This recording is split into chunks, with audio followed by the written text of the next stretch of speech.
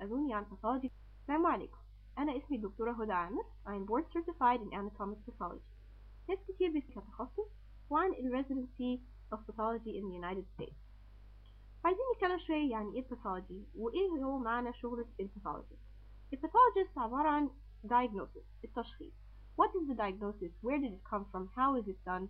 آه وأي أسئلة تانية ممكن يكون عند ال clinician أو الجراح إحنا بنحاول نجاوب لهم عنها أغلب النيابات في أمريكا في ال pathology هم أربع سنين وعبارة عن AP و CP Anatomic Pathology و Clinical Pathology Anatomic Pathology ده عبارة عن اللي هو بنقول عليها في مصر Histopathology أو pathology جراحية وفيها عدة تخصصات اللي هي Neuropathology وبيختص بال brain وال neuromuscular disorders. Derm path اللي بيشتغلوا مع دكاترة الجلدية Forensic Pathology هو الطب الشرعي. Cytopathology اللي هو ال fine needle aspiration. Heme path عبارة عن bone marrow و aspirate و flow cytometry و pediatric pathology وفي الجزء اللي هو clinical pathology اللي هو بقية الحاجات اللي related لشغل المعامل including chemistry, blood banking, hematology آه اللي هو مش interested ان يعمل clinical pathology في ال option AP only. AP only track ساعتها بتبقى 3 سنين والقرار ده لازم يتاخد في اول أو تاني سنة من النيابة بالنسبة لل CP only track دول أماكن أو programs قليلين جدا في أمريكا اللي بيدوا CP only فدي حاجة مثلا لازم الواحد يسأل عليها قبل ما بيقدم على ال residency program. آه وفي حاجات زي neuropathology forensic في ال option اللي هو combined program AP زائد subspecialty ودول في الحالة دي بيكونوا أربع أو خمس سنين.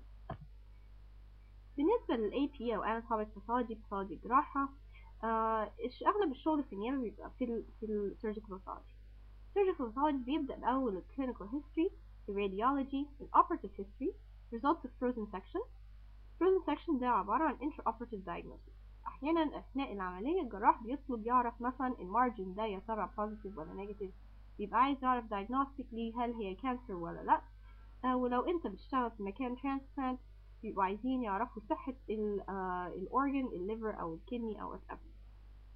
بعد كده شغلك بيبدأ بالعينة نفسها. بيبقى فيه gross examination and proper dissection.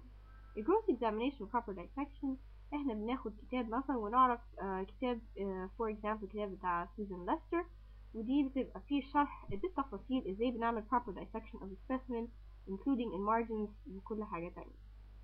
وأثناء ال gross examination بيبقى واحد بيعمل قرارات هل هنبعت ده ل flow cytometry لو المنظر lymphoma molecular مثلا لو دي حالة ساركوما أو cytogenetics آه لو حالة مثلا kidney بعد كده بيتحول العينة إلى مستوى شريحة ومستوى الشريحة دي إحنا بنشوف ال hematoxylin وال eosin سلايد وبنطلب عليها immunohistochemistry حسب ما الحالة تطلب an example of Susan Lester's book. Susan Lester دي يمكن أشهر كتاب بتاع uh, surgical pathology كيفية التقطيع والدايسكشن specimen. هنا is example للصفحة في أحد في الكتاب عن lumpectomy specimen ازاي بتعمل orientation superior inferior بالنسبة للsutures و proper inking و proper dissection technique. تعالوا ناخد uh, تعالوا ناخد example um, ولد عنده أربع سنين ومعايا ال radiology هنا شايفين ال fourth ventricular mass وضغط على ال fourth قصدي posterior fossa mass ضغط على ال fourth ventricle. ال intraoperative diagnosis في الحالة دي في ال neuropathology أوقات كتير بتبقى مش frozen section قد ما هي smear يعني إن إحنا بناخد شريح اتنين شريحتين كده بنفرد الخلايا ونشوفهم كأن الواحد بيشوف حالة cytology. في الحالة دي إحنا we are seeing a large group of round ovoid cells hyperchromatic with coarse chromatin وعلى مستوى الهيماتوكسين وإياسين آه شريحة احنا شايفين ان في شوية pseudo rosetting وان في mitosis كمان طلبنا immunohistochemistry synaptophysin is a neuronal marker وزي ما احنا شايفين it is diffusely positive mu n برضو is positive في شوية من الخلايا والMIB1 proliferation index is extremely high. In negative scenes, GFAP, EMA, P53, INI, ولما بعتناه لفيش cytogenetics admit لأنها positive. فبالتالي finally our final diagnosis is posterior fossa tumor biopsy medulloblastoma classic who grade 4. أحيانا بيجيب لك عينة زي كده وهنا هت- انت هتوصف بالتفاصيل ان انت عندك uh, a tumor occupying medullary ca- cavity هتوصف ال ال um, how uh, ال measurements بتاعتها المسافة بينها وبين المارجنز قد إيه وهتاخد عدة شرايح من uh, عدة samples أو sections من هنا يتحولوا إلى مستوى الشريحة وهنا نقدر نوصل uh, نقدر نلاحظ إن ال the tumor has a waxy or shiny appearance ودي ماشية مع التشخيص اللي هو chondrosarcoma. آه دلوقتي ناس كتير بيسألوني how do I prepare for a pathology residency من أول college و internship. أهم حاجة إن أنت تعرض نفسك لل pathology والتخصصات اللي ليها علاقة بال pathology آه تحاول تاخد rotations في ال pathology أثناء امتياز. آه احضر pathology في أوقاتك يعني في السمر مثلا أو في الأجازة نص السنة. وتحضر radiology و surgery و oncology وكل التخصصات اللي بيبعتوا كتير ل pathology لما تيجي تحضر ال CV بتاعتك طبعا لو أنت لسه متخرج من الجامعة يبقى عندك حاجات كتير في ال CV.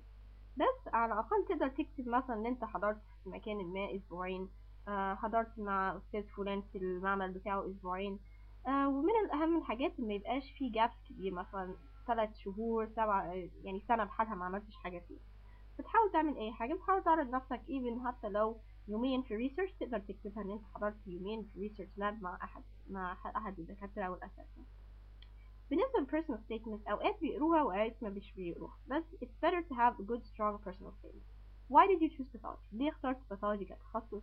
إيه الحالات يمكن شفتها أثناء الجامعة أو أثناء الامتياز؟ آه، أثرت على you know, قرارك إنك تقدم على residency pathology. آه، وتحاول تحط شوية عن نفسك في ال في ال personal statement. وليه اخترت ال residency program ده بالذات؟ Letters of recommendation do not necessarily مش لازم يكونوا من دكتور آه، في أمريكا أو دكتور عنده آه، شهادة من أمريكا وده طبعا helpful والأهم من كده إن ال letter of recommendation يكون في وصف كده جيد أو كويس عنك ك آه، من ناحية الشغل ومن ناحية الشخصية. Are you hard working and if you are a nice person.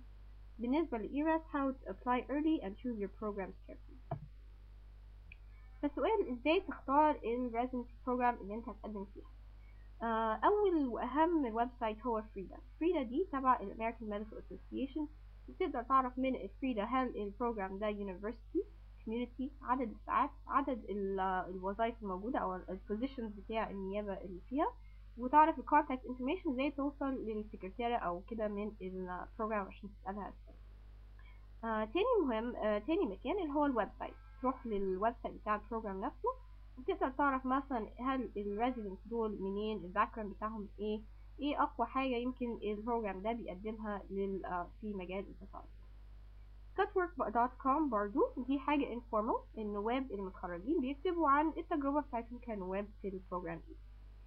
الحاجة التانية ال location آه يا ترى انت يعني لو بتحب مثلا تكون في مكان فيه عرب كتير أو ناس كتير عرب تانيين اتقابلوا فيها. هتدور على آه بيسموه IMG friendly city يعني International Medical Graduate Friendly City زي نيويورك شيكاغو أو ولايات زي نيوجيرسي وميشيغان. آه بالنسبة لل scores أنا دايما بعتبر هما ثلاثة score system يعني اللي فوق 95 آه بين 85 و 95 واللي أقل من 85 عشان تعرف إيه ال program دي آه، بتاخد أنهي scores ممكن تبعت لهم directly وأوقات أنت ممكن تعرف بنفسك يعني حاجة زي هارفارد مثلا. أكيد هياخدوا فوق ال 95 ولازم تعرف نفسك أنت هتقدر تروح عند مين. بالنسبة لل university community hospitals الاثنين فيهم مميزات وفيهم آه، مساوئ. university program دايما بتبقى الشغل فيها أقوى آه، أكتر بس بتبقى specialized أكتر وهتعرض أكتر على ال research والحاجات اللي related لل research وال publication ال community hospital يمكن ال lifestyle أحسن. This is صفحة ال FREIDA American Medical Association. آه، تقدر تحط ال criteria بتاعتك وتطلع لك كل ال programs which fit your criteria. This is an example of a residency program في ولاية نيوجيرسي. وأول حاجة إن أنت بتلاحظ إن كل ال residents دول آه، كل واحد من مكان مختلف.